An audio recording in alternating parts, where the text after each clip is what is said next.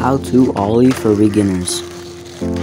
This is a very essential trick for skateboarding and it can be used to ollie off of stuff, onto stuff, and over stuff.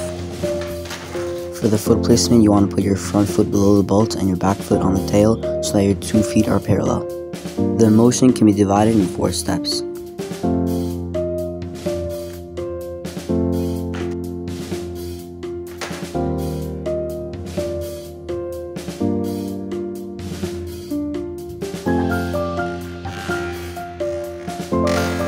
To pop and flick the board, you want to put all your weight on the back foot and then slide up your foot while jumping and putting most of your weight on the front foot.